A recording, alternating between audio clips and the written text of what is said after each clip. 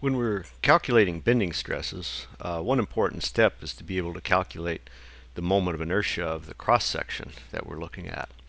For simple shapes, of course, the uh, moment of inertia is tabulated. Uh, for example, for a rectangle, the moment of inertia about an axis passing through the center, or the centroid, is 1 12th base times the height cubed. Now, if we're looking for the moment of inertia about another axis, as long as that axis is parallel to the centroidal axis, we can use the parallel axis theorem. So, to find the moment of inertia about the uh, axis that's labeled x prime here, we would take the 1 12th bh cubed and add to that the area of the rectangle times d squared, where d is the distance between the two axes. Now we'll use this to be able to find the moment of inertia of a compound area. So a compound area is simply one that's made up of uh, several simple shapes. And a lot of times in structural analysis, uh, most commonly, uh, it's going to be made up of a series of rectangles. So the examples we're going to show are um, compound areas made up only of rectangles, such as this T-beam that's shown here. Now again, to do uh, bending calculations on a cross-section like this, we need to know the moment of inertia about the centroidal axis, that is, passing through the centroid of the section, because that is the neutral axis of bending. So the first uh, step is going to be to locate where that axis is. In other words, where is the centroid of the cross section?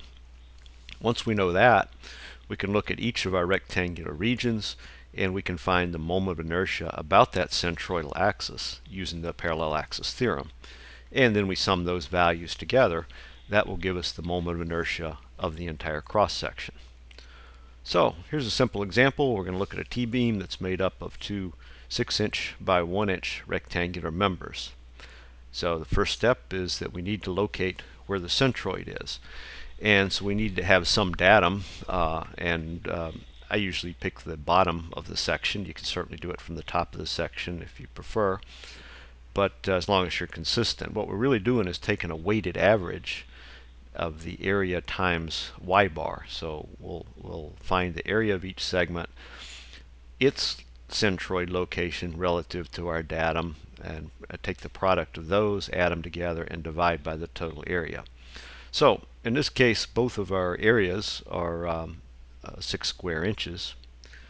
For the web, uh, which we called uh, area 1, excuse me, for the flange rather, the uh, distance from the bottom of the section up to its centroid is 6 inches plus half of the thickness of the flange or 6.5 inches.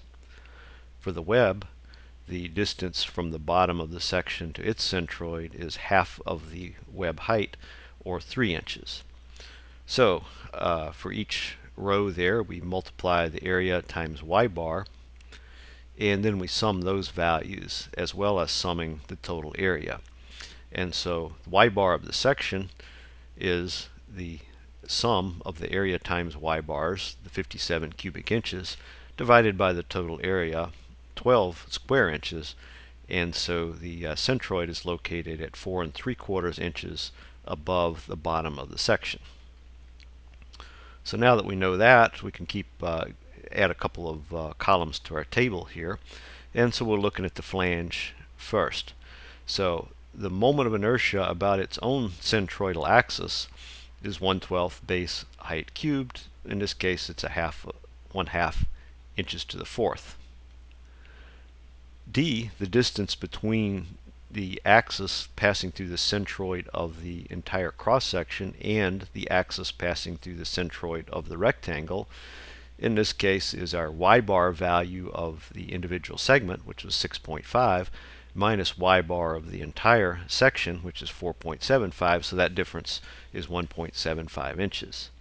And so now the moment of inertia of that rectangle about the centroidal axis is 1 12th bh cubed plus ad squared, and that gives us a total of 18.875 inches to the fourth. So we'll add those numbers to our table. Now we move to the web and the moment of inertia about its own centroidal axis, 112 bh cubed. Of course, the base in this case is, is 1 and the height is 6. So that comes out to be 18 inches to the fourth. Uh, the distance between the two axes, again, we're just taking the number out of the table, the y bar value of that particular uh, segment, minus the y bar of the entire segment. Of course, uh, you can switch those around if you want because that value gets uh, gets squared, so it uh, doesn't matter if it's positive or negative. And so the moment of inertia about the x-axis here is um, turns out to be uh, 36.375 inches to the fourth. And so in this case, the uh, contribution to the moment of inertia of the web is actually greater than, than that of the flange. We add the two together, and that's our answer. The moment of inertia is 55 and a quarter inches to the fourth. Now, if we put a um, another 6 by 1 piece on the bottom of this to make an I-beam or a wide flange beam, and we want to find the moment of inertia, well, we can do that a little bit differently this time. First of all, because we're symmetric from top to bottom, we know where the centroid is. We don't want to waste any time calculating uh, that. The centroid is, is halfway between the top and the bottom.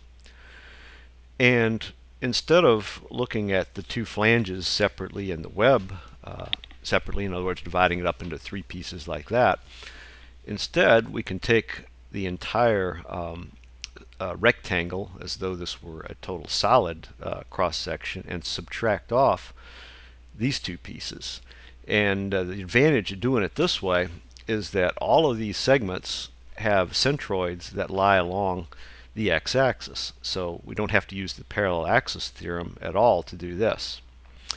And so our calculations will go like this for the um, uh, for the solid section. 1 12th bh cubed is uh, b would be 6 inches and the overall height is 8 inches. And for the segments that we're going to remove, of course being two of them, uh, each of the base, since the overall uh, base is 6 inches and the uh, thickness of the uh, web is 1 inch, that leaves us 2.5 inches on each side. And so we can do that calculation and find the moment of inertia as 166 inches to the fourth. Now, if we did this by the other method, in other words, our first method by dividing it up into three regions, we do get a little more insight into the problem, perhaps. When we look at uh, each of the flanges, we see that the 1 12th BH cubed term is very small, but the AD squared term is, uh, is quite large. And of course, the two flanges, those values are exactly the same. If we look at the web, the uh, 1 12th BH cubed, of course, is relatively large because of, of its uh, height there being cubed. And it lies right on the uh, x-axis at centroid, so the AD squared term is 0. And again, when we add everything together, we get 166 inches to the fourth, so the same result. But what you can see is that most of the uh, value of this, you can see the 74 and 74, most of the uh, contribution is from the flanges and most of the contribution of the flanges is due to the AD squared term. In other words, it's the most efficient way to, to build a, a beam, which is, explains why wide flange beams are used a lot, is to get the uh, material as far away from the neutral axis as possible. And so with that in mind, how would we stiffen this beam if we needed to increase the moment of inertia What's the most efficient way to do that? So we've looked at a couple of alternatives, each of which adds one square inch to the total cross-sectional area. Well, the most efficient way, as we just talked about, would be to increase the overall height of the beam. So if we increase the web height from 6 inches to 7, we find the moment of inertia increases uh, by about 33%. And remember, adding one square inch uh, just takes us from 18 to 19 square inches. So we increase the area or the weight of the beam uh, by about 5.5%, but increasing the height uh, increases our moment of inertia uh, a good bit more than that. Now, a lot of times you can't do that, though, because you might be restricted on how tall this beam can be. So another way of doing it would be to increase the flange width without increasing the overall height. And if you do that, the increase is, is much less. You could also increase the flange thickness, but again, if you have to do that without changing the overall height of the beam, you'll find the increase is only about 5. Uh, percent, so really on the same order that you're increasing the area by. And finally, the least efficient way is to increase the web thickness. So the web of course has to be there. You have to have a minimum thickness to be able to transfer the shear forces and also to prevent buckling on the on the portion of it that's in uh, that's in uh, compression, but it doesn't add a whole lot to the overall beam stiffness. Now, one other thing I might point out though is that um, if you have a real complicated shape, for example, in this case, this is uh, a type of aluminum extrusion that's used a whole lot in uh, in quick construction then rather than doing this by hand, uh, you can use the tools that, that you have available and most CAD programs will be able to calculate the moment of inertia for you. In this case in SolidWorks I can simply click on this cross section, go to tools and section properties and what it will give me are the moments of inertia here as well as the cross sectional area.